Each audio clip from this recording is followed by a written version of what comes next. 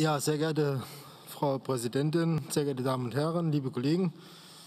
Im März hieß es, wir nehmen den Antrag zu Forza Louis von der Tagesordnung, weil wir nur sechs Stunden tagen dürfen.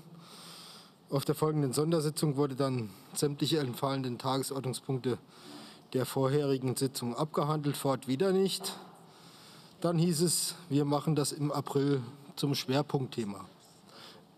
Ende vom Lied, ganz am Ende der Tagesordnung räumen wir dem Hacker mal noch ein halbes Redezeitmodul ein, damit er seinen Antrag in immerhin zwei Minuten vorstellen kann. Von Schwerpunktthema will niemand mehr etwas wissen. Stattdessen hält der Herr Umweltminister eine Regierungserklärung, in der er uns mitteilt, dass er mehr Geld von der EU erhält und das nutzen möchte,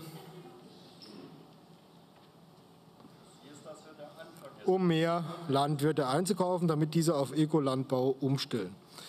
Inklusive natürlich der umfangreichen Dankesworte aus den Koalitionsfraktionen. Das ist immer wieder schön zu sehen, wie harmonisch Regierung und Landtagsabgeordnete miteinander umgehen.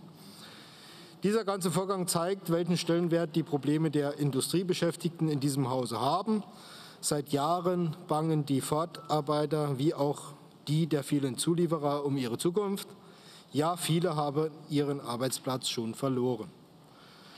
Da Sie hier alle meinen Antrag gelesen haben, hier nur kurz die Quintessenz. Ford investiert massiv in Köln in E-Fahrzeuge, kauft aber wesentliche Teile des Antriebsstranges dazu.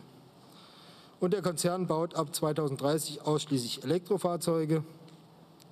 Die Hinhaltetaktik der Vergangenheit und die geringe Fertigungstiefe lassen darauf schließen, dass bei Ford einfach kein Bedarf mehr gesehen wird für vier Werke in Europa oder eben zwei in Deutschland. Auf der anderen Seite steht Great Wall Motors auf dem Sprung nach Europa und hat seine Tochter S-Volt schon mal vorgeschickt. Die Landesregierung wird daher aufgefordert, mit diesen beiden Global Playern einen Prozess zu moderieren mit dem Ziel, dem Automobilstandort Saarlouis eine Zukunftsperspektive zu bieten. Näheres können Sie dem Antrag nachlesen. Ich bedanke mich für zwei Minuten respektive drei Minuten Redezeit zur Erläuterung meines Antrags. Vielen Dank.